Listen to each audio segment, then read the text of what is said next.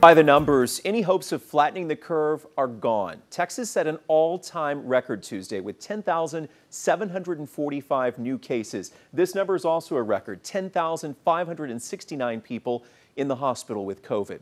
The state also reported 87 deaths Tuesday. And as we look at the big board, Look at all these arrows, all going up. Every metric that we monitor. Southeast Texas reported 212 uh, new cases, five new deaths, and the majority of those new cases came out of Jefferson County. Of this 192, 110 were in the city of Beaumont.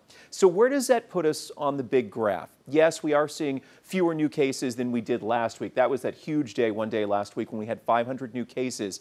But what we saw Tuesday is not going to help us flatten the curve. Finally, let's check the hospital count. The general patient COVID count is up uh, to 128. The number of COVID patients in ICU down slightly. But as you can see, both of these numbers are still way above our two-week average.